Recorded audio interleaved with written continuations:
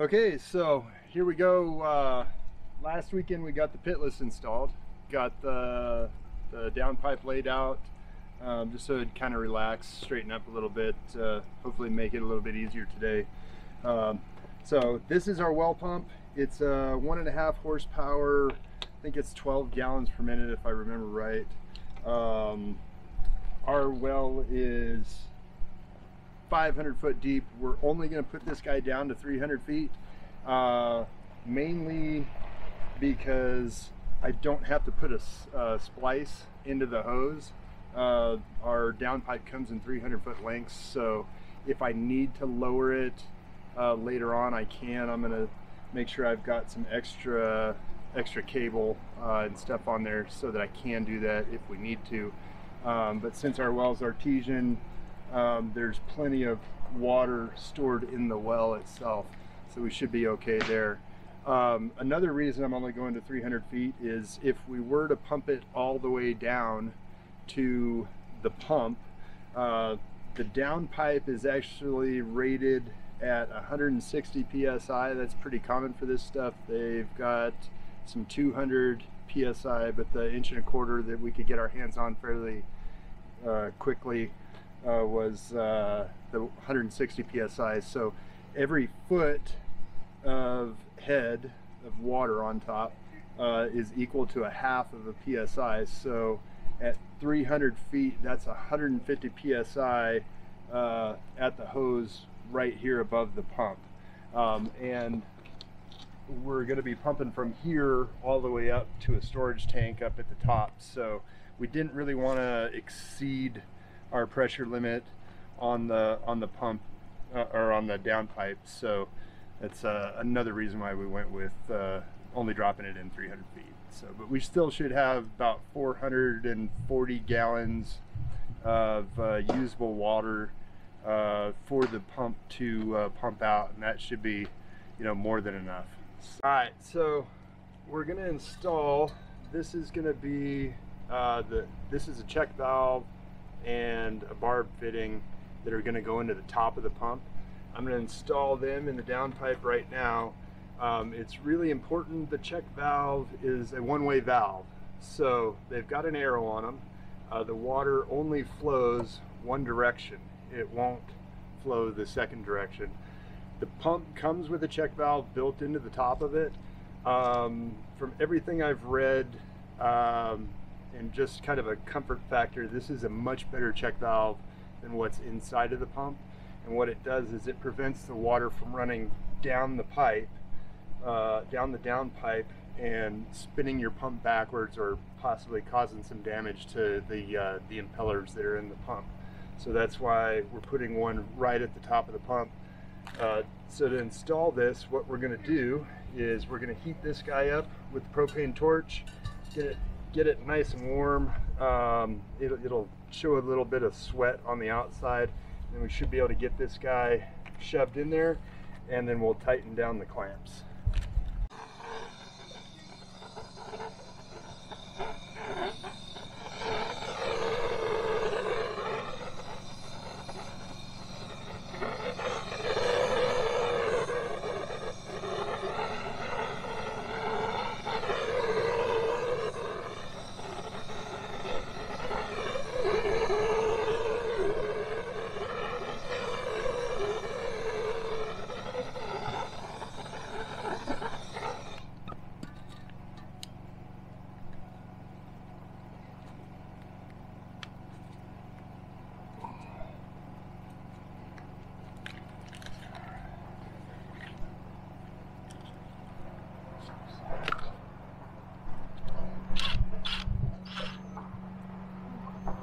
little hot.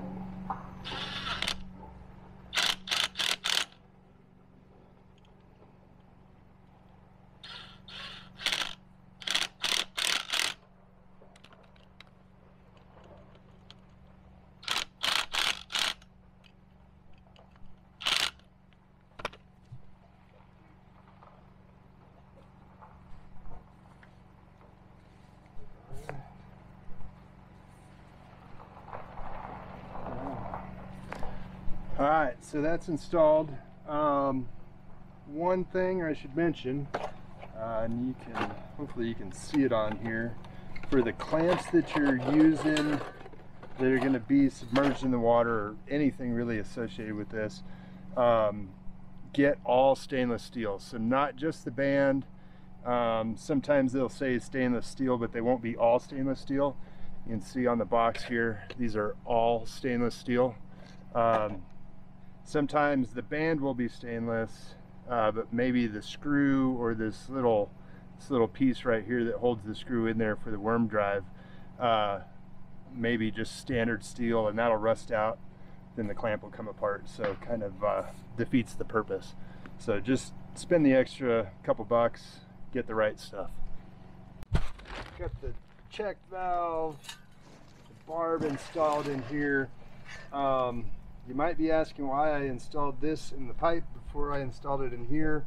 Uh, my thinking was that fighting with the pump, trying to get that in, might be a little bit of a pain in the butt. So uh, I chose to do it this way. I don't know if it's the right way or not. Leave a comment if you think I'm wrong. So, and we'll see how this goes. But I'm gonna use some of this uh, Teflon paste, get it on here, get this guy tightened down, um, and then we'll start uh, start wiring it up and putting the uh, this the safety uh, rope in. The pump we bought came with the uh, splice kit for the for the wiring. Um, it's got the non-insulated connectors and then some uh, uh, heat shrink. Um, so you can see how long of a wire there is there, how long the butt connector is. Uh, that's the middle of the butt connector. I've always gone through and trimmed it back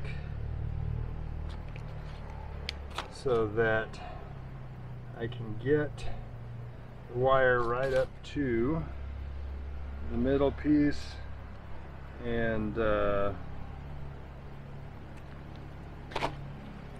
the insulation is just poking out so get that guy on there. Pump it in.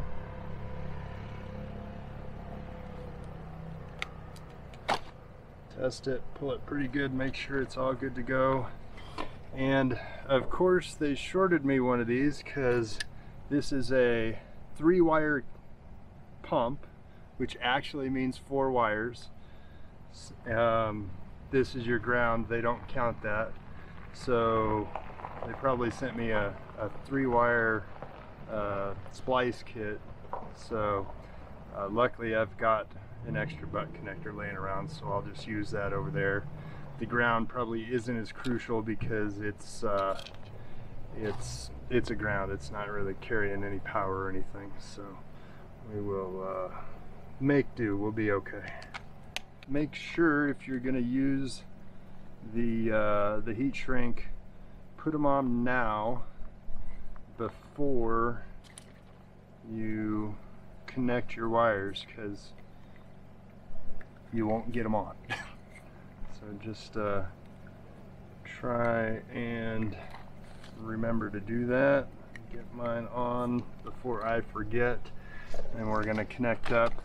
So this is 10-3 submersible pump wire. I got a 500 foot roll um, because wasn't sure if I was going to put the pump at 400 feet and I wasn't sure where I was going to put the box at. So temporarily we're just going to put the, the control box up here along with the circuit breaker um, but later on it will probably move up the road or closer to the holding tank that we're going to use uh, and I'll explain why we're going to use a holding tank later.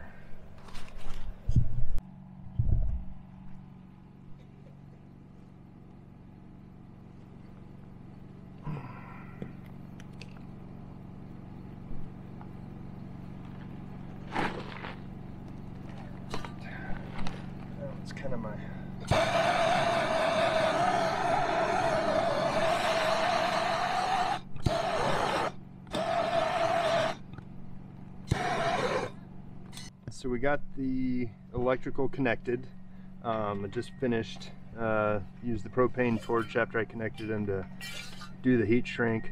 So the, the, the heat shrink, the seal, uh, the electrical connection kits that come with these well pumps or that you order for your well pump, um, it's, a, it's a special kind of heat shrink.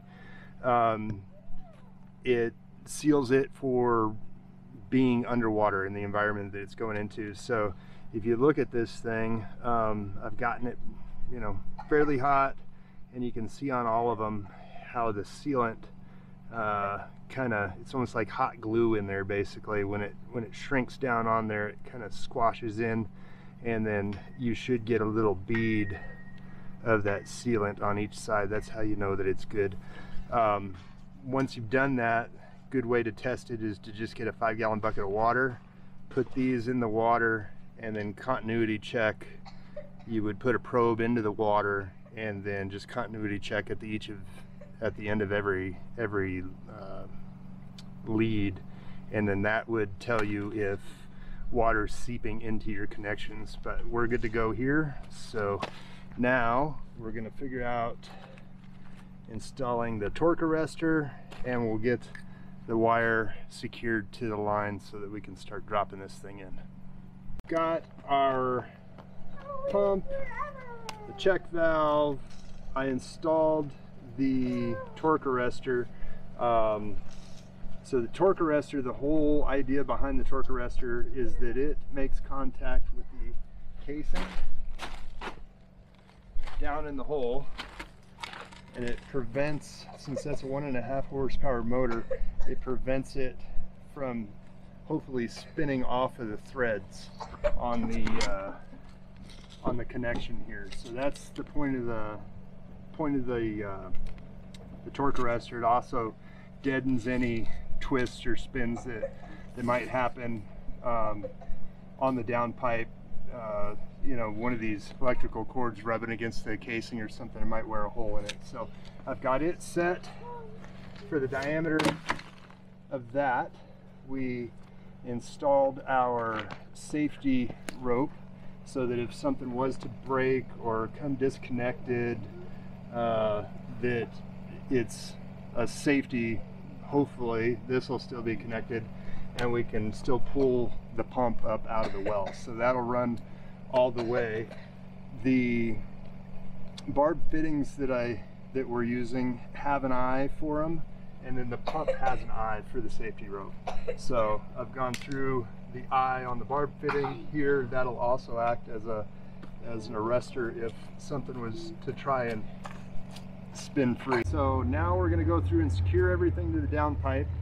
Uh, I still have to install this end of the pitless at the other end of the hose and we're going to work our way from the pump that direction um, everything I've been told use the 3M electrical tape. It sticks better um, and we're going to go through and secure the wire every three to four feet.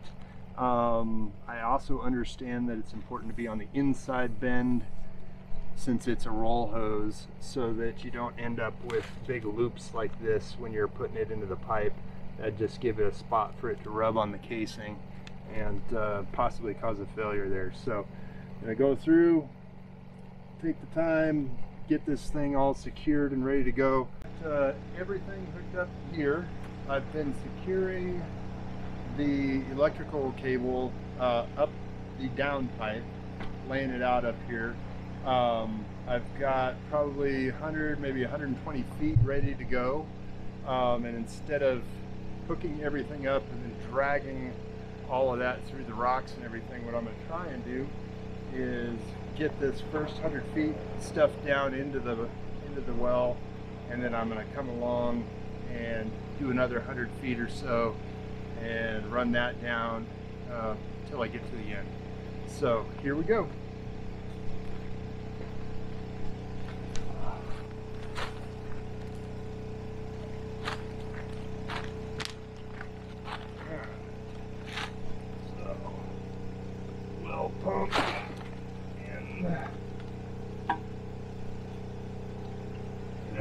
up with the casing.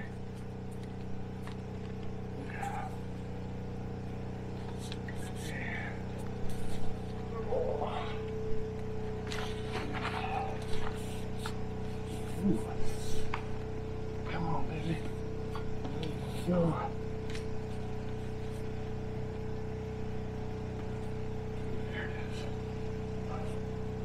All right. Torque arrestor just went through. Just gotta watch this cord as we're feeding it down so we don't cut it.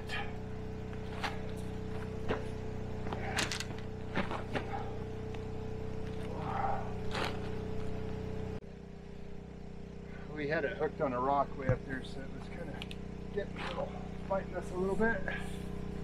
I put this uh, blanket right here to protect the cable and everything edge. Now I'm just slowly feeding her down.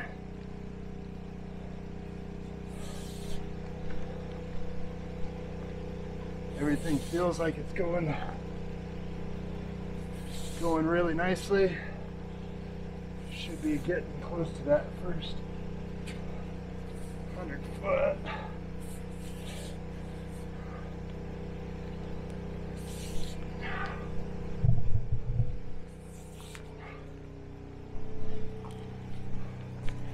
Not too bad going in.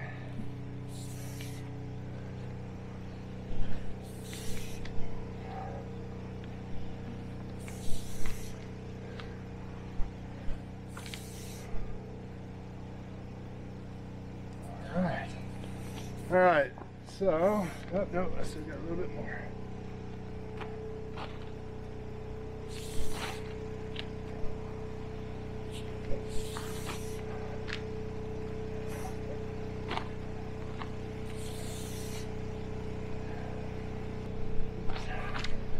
All right, should be able to tape up some more, get it all ready, and uh, we'll keep stuffing this thing in.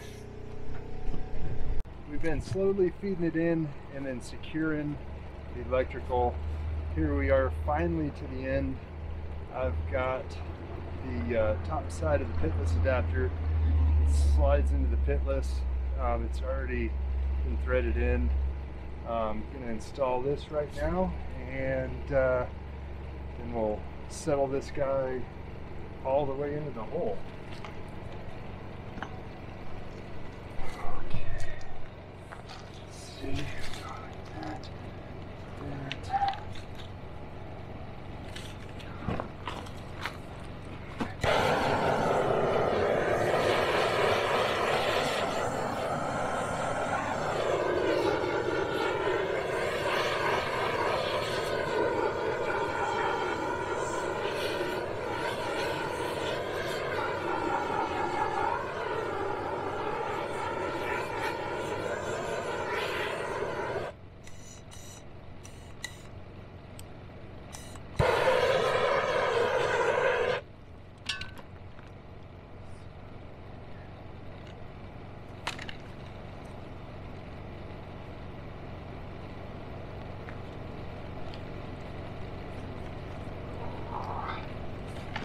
my mallet.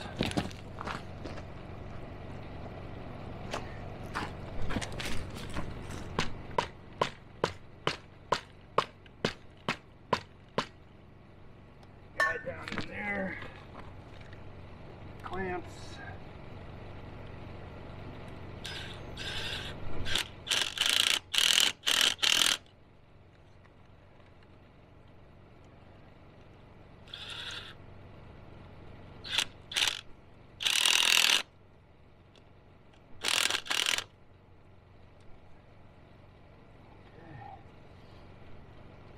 All right, so that's all secure. Um, and when you start thinking about it, you've got a well pump that's about 50 pounds. Uh, you've got all of this copper wire, which is 100 pounds. This uh, this pipe is like 100 pounds. So you got a lot of stuff hanging off of this guy. Um, so uh, pretty uh, pretty cool. Make sure you you go with some quality stuff here because there's uh, no use having a failure. So I'm gonna try and uh, fish this guy into the bottom now, and uh, then we'll be done with this portion and uh, start on the cap. All right, so we're feeding in the last little bit. You can see it pretty much feeds itself. Got everything. Everything is suspended off of this guy right now. And here we go. Let's see if we can get this guy where we want it. And of course I can't.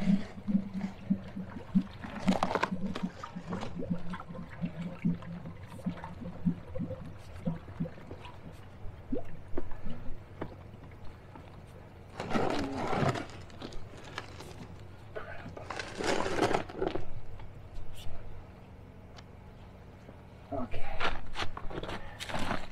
Now, can't see anything since our well is artesian, so I gotta open up.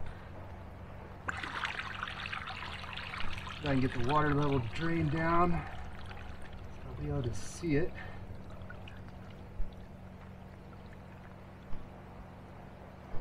See the pitless adapter. I think I'm sitting right on top of it right now. That's what it looks like. Where am I at here?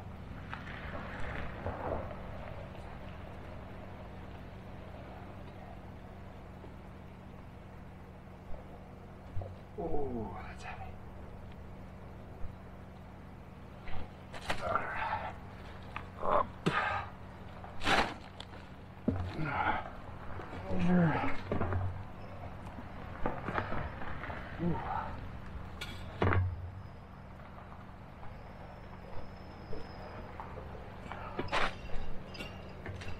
Ooh. That. Phew.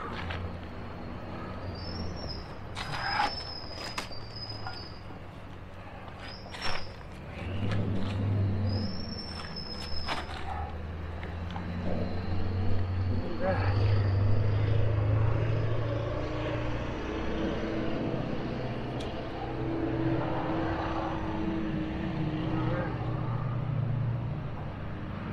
I do believe we're sitting in there tight on the on the pitless adapter. I'm gonna get a little bit of water out of there and uh, see if I can show you guys. All right, hopefully reflect, reflection doesn't get in the way, but you can see the pitless adapter uh, sitting right in the saddle there um, in that uh, well casing that goes all the way down. So pumps in, there's 300 foot of downpipe and got the safety rope cable coming out. This is our well cap. It's a secure well cap so we can uh, lock it down, keep uh, anybody or any critters out of it. Um, it's got an O-ring uh, so that it can seal. It's got these uh, little Allen's Allen head set screws uh, so that you set it down on the well. Um, little O-ring there that seals it, and then this guy sits on top. Your electrical conduit comes through, comes out here.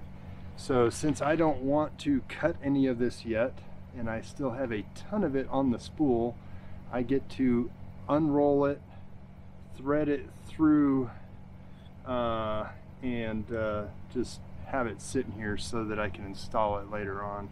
Um, we're gonna do a temporary mount for the electrical box right here with the pump control, uh, just so that we can run it uh, with a generator for the time being until the house is built up on the hill.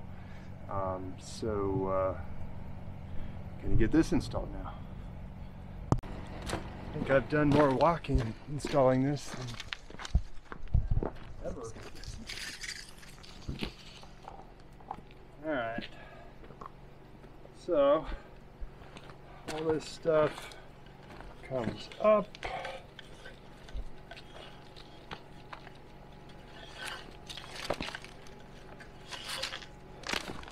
Through the conduit hole. I'm gonna make a big old mess that we'll clean up later. A pile of tangled stuff.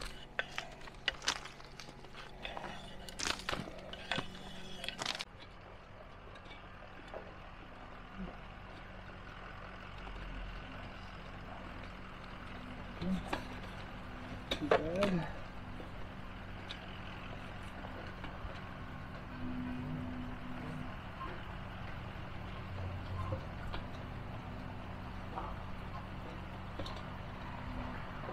Alright, so that's the base. Sits on there. Go get my Allen heads. Get that guy tightened down. Orient this guy like that so that my stuff is all pointed in the right direction. And we can tighten down that uh, the top of that well cap and that thing will be ready. Um, we're going to run the conduit in the next video and hook up all the electrical and uh, turn this bad boy on. We are installing the cap. We've got uh, all the line and cord uh, through the conduit hole. And now we're just tightening this guy down uh, so that it's secure. I will say that this is um, a cast aluminum cap and when I was tightening one of the little set screws it of course snapped a little bit. It doesn't look like it's gonna affect a lot um, but uh, probably my fault for over tightening it. Uh, but I would still I didn't tighten it that much. I'd still expect it to hold. So kind of disappointed in that. I'll probably reach out um, and uh, see if I can uh, either get a replacement part or find out what I did wrong there um, and uh, we'll go from there but we cracked it back here on the back. It's still secure uh, so not too worried but uh, still sucks. You don't want to break it on the first time. Uh, tighten down these bolts I was going to get an impact but after I broke that other piece. I figured I'd just hand tighten it. Um, looks like everything's there. Got the little uh, stud that goes in. That's what you put your lock through. So I'll just drop that in and think I got a lock laying around out here. I'll put that on there. I'm not really worried about anybody getting into it, but uh, better safe than sorry, I guess. So, well, there we go. Pump is installed. Electrical's out. Um, we're going to install a frost-free hydrant uh, for a temporary uh, water solution, and we're like I said, we're going to put uh, temporary mount for the uh, control box and a fuse panel so we can run it off of a generator um, just so that we've got water for uh, when we're up here in the trailer. Uh, we're doing ICFs, so I assume that the concrete trucks will probably uh, greatly appreciate a washout down here, so we'll make sure that we're all ready for that. All right, so uh, we got the well pump installed. We've got the uh, safety rope and the electrical kind of stored for right now until we get back up here. Um, shouldn't take a whole lot. We've just got to install the uh, the electrical stuff over here. We'll make uh, the okay. Let's try that again. No, you. Is it recording? Okay. All right. So we got the well pump installed. It's all the way down casings in. Uh, so part three, we're to do the electrical and we're also to do the frost-free hydrant. So I started prepping some of this, some of that stuff this morning. Um, I took a couple pictures. They'll be up on Instagram if you want to check those out. Um, frost-free hydrant, electrical. We'll build a little. Uh, Why are you taking that? Well, we're going to use that T-post to mount the frost-free hydrant in. Uh, saw a really cool way of doing that online uh, using a bucket. Uh, the way frost-free hydrants work, we'll get into that next time, but they drain underground so that nothing is above the frost line and won't freeze. So stay tuned for part three, and uh, make sure you like and subscribe if uh, what we're doing is helpful for you. Thanks.